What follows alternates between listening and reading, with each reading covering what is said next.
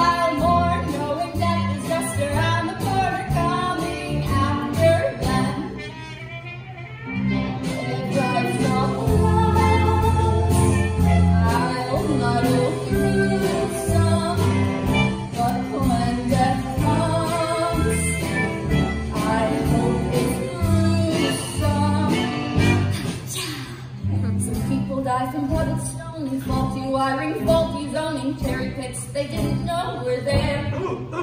It could be by a jungle cat, perhaps an unsuccessful love affair. It could be in a speeding train, it could be underwater, it could be too much novocaine or even by your daughter.